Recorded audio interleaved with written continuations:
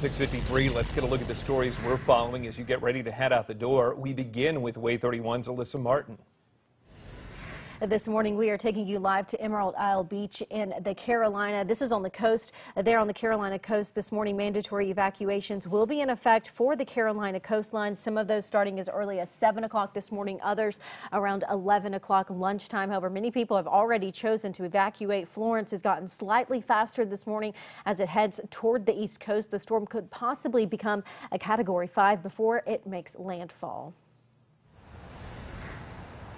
I'm at Huntsville Station number one, where in less than an hour, first responders will gather here for a 9-11 remembrance ceremony. Emergency vehicles from Huntsville Fire and Rescue, Huntsville Police, and HEMSI will all meet here to turn on their lights and sirens for 30 seconds, lower the flag to half staff, and end that ceremony with the Pledge of Allegiance. Will? Within the past half hour, Virginia College is stating that insufficient enrollment demand is the reason that they've decided to close their site here in Huntsville, as well as several others around the southeast. Now, only 11 out of the college's 27 campuses will remain open. That's according to their website. For those sites closing, they stopped accepting new students yesterday. They said the last day for the Huntsville location will be June 1st, 2019. Bill. Well, thank you. The Federal Aviation Investi Administration investigating a skydiving incident where a Huntsville High grad and Auburn University student died. Tuskegee police say this man, 21-year-old Sawyer Campbell, died during that jump at the Tuskegee Municipal Airport.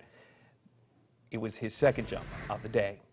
A body found in woods near Guntersville now sent to a forensics lab for identification. The body found Friday. WAAY 31 tried speaking to sheriff deputies for more information. However, they could not reveal any additional information in the case.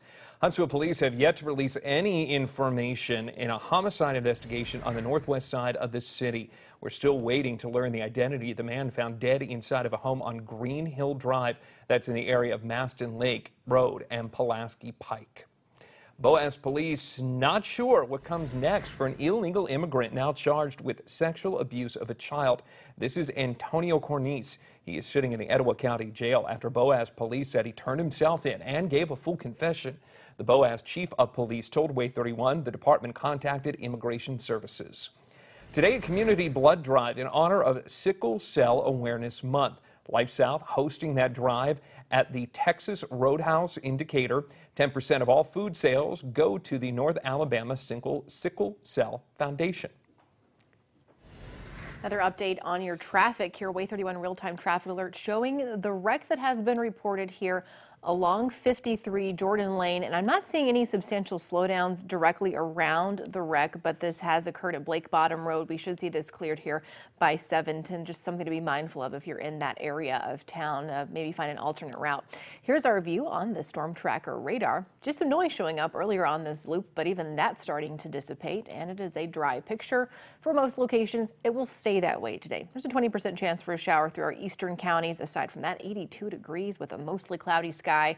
But the cool temperatures, they don't stick around. 91 degrees for Thursday, 92 by Friday. But if you got your sights on the weekend, looking pretty good at this point. And it looks like the remnants of Florence will stay mainly just outside of the WAAY 31 coverage area.